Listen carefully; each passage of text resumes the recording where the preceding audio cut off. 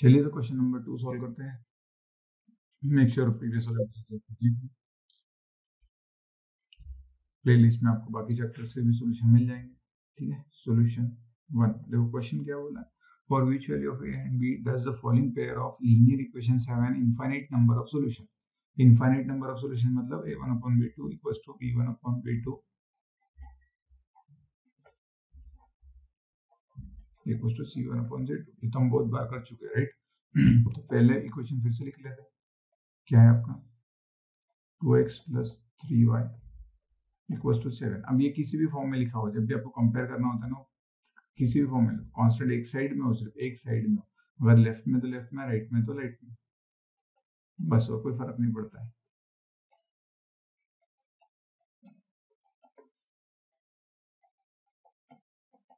ये कांस्टेंट है हमारा three a plus b minus two है ना। बस लिखेंगे एज लाइंस आर कोइंसिडेंट या जो भी आपको दिया है कोइंसिडेंट है या है क्या बोलेंगे? इनफाइनाइट सॉल्यूशन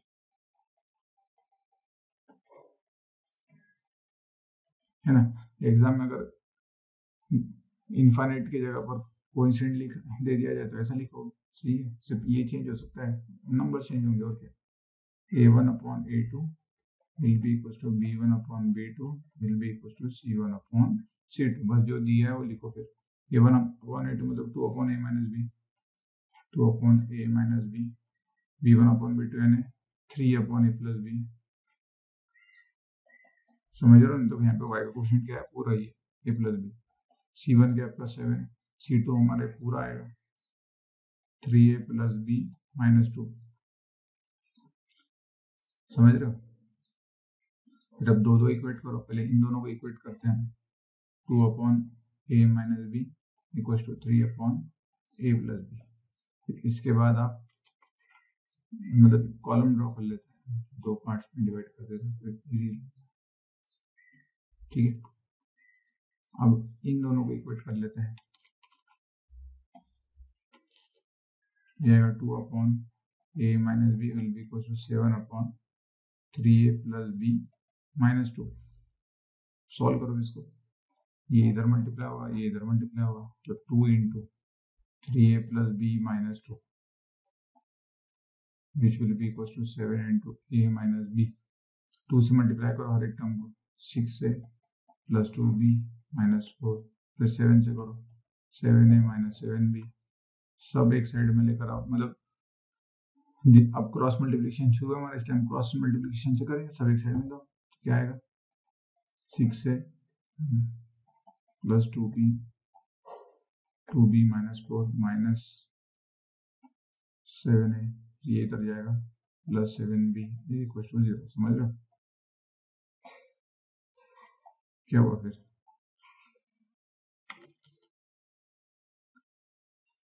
सिक्स है माइनस सेवन है माइनस है two b plus seven b nine b minus four will be equal to zero ये इक्वेशन टू बन जाएगा आपका। इक्वेशन वन पे आ जाओ। क्रॉस करो मल्टीप्लाई ये आएगा two into a plus b three into a minus b two से अंदर मल्टीप्लाई कर लो। Two a plus two b three a minus three b एक साइड में ला लो। कितना होगा two a plus two b minus three a plus three b. समझ रहे हो?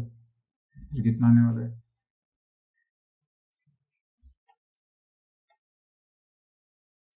Two a minus three a. कितना होता है? Minus a. और two b plus three b कितना होता है? Five b. Equation number one अब हम exercise three point five solve कर रहे हैं, जो कि एप्लीकेशन है क्रॉस मल्टीप्लिकेशन का, हमारा क्रॉस मल्टीप्लिकेशन का प्रैक्टिस हो, इसलिए हम ये सॉल्व कर रहे हैं, ठीक है? अब मुझको था इक्वेशन वन में कांस्टेंट है ही नहीं तो आप लिख सकते हो कांस्टेंट या ज़ीरो क्योंकि सी वन के लिए आपको चाहिए होगा फिर। सही है? तो चलो फिर लिखो। X y one b one क्या आएगा आपको? चलो दिक्कत होगी, इसलिए हम क्या करते हैं, एक के नीचे एक लिख लेते हैं यहाँ पर। Minus minus a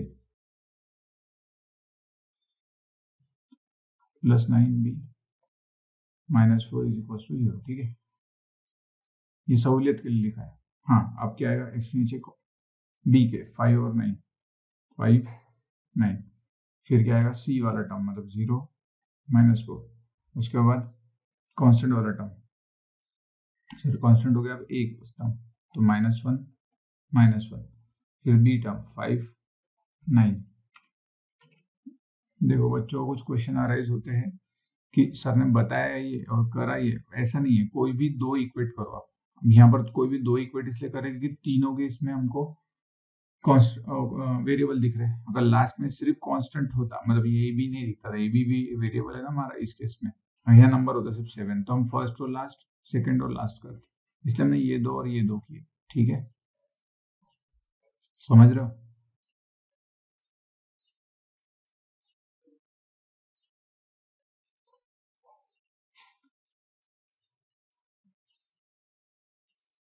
बस, बाकी तो स्टेप सही है। चलिए फिर, जो हम पहले से करते थे, क्या करेंगे फिर अब? एक्स अपॉन लिखेंगे? X upon y upon one upon x के अपॉन में क्या लिखोगे? इन दोनों का प्रोडक्ट कितना आएगा? माइनस ट्वेंटी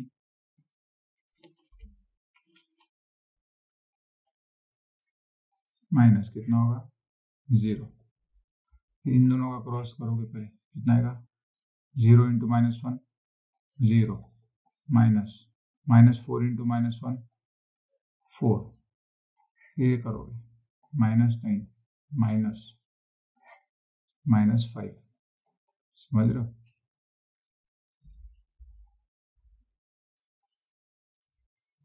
ये आएगा x upon minus twenty y upon minus four one upon minus देखो माइनस टेन प्लस फाइव होगा मतलब माइनस फोर बस हो गया हमारा काम खत्म.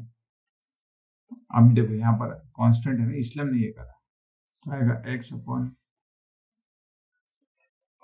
minus twenty will be equal to one upon minus four and फिर इन दोनों को इक्वेट करोगे। Y upon minus four is equal to one upon minus four क्यों क्योंकि यहाँ कांस्टेंट है। तो जल्दी निकल जाएगा ना। एक वेरिएबल टर्म एक कांस्टेंट वाली टर्म एक वेरिएबल टर्म एक कांस्टेंट वाली टर्म इसलिए हमने करा है। तो डायरेक्टली ये दो ऊपर जाएगा। X equal to minus twenty upon minus four minus minus cancel four five तो x की वैल्यू मिल गई आपको फाइव ये इधर जाएगा। Y equal to minus four upon minus four minus minus cancel four four cancel तो y की वैल्यू आने वाली वन ब्रैकेट कर लोगे और क्या?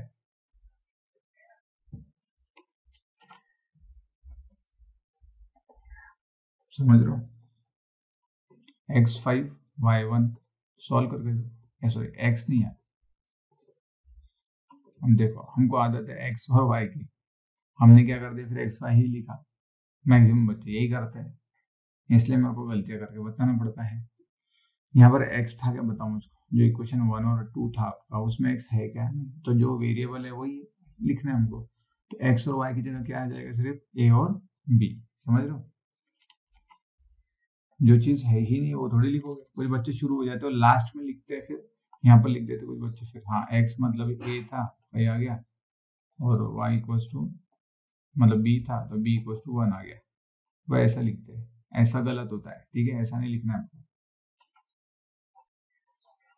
तो बस अब आपके जिम्मे दे कुछ मत करो, यहाँ पर सब हर जगह पर एक्स की जगह क्या कर दो? ए लगा दो बस। ए और बी एक्स की जगह पर ए आएगा। वाई की जगह पर बी आएगा। ए बी ए सही है ना? A B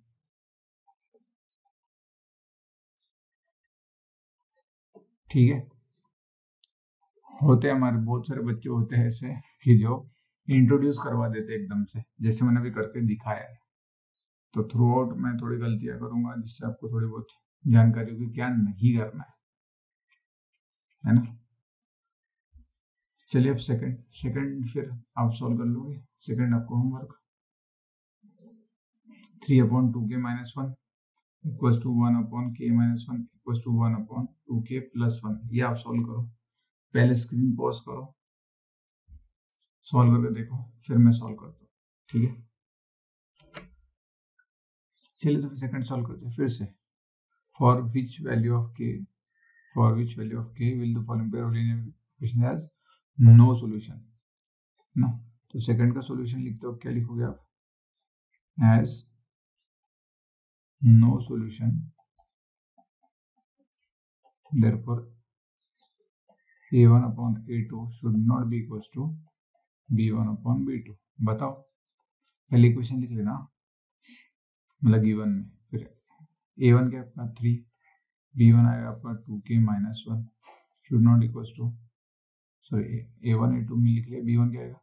One y question b two क्या आएगा? के माइनस वन क्रॉस मल्टीप्लाई करो। अब देखो यहाँ नॉट इक्वल टू यहाँ क्रॉस मल्टीप्लाई करो क्रॉस तो क्या हो जाएगा?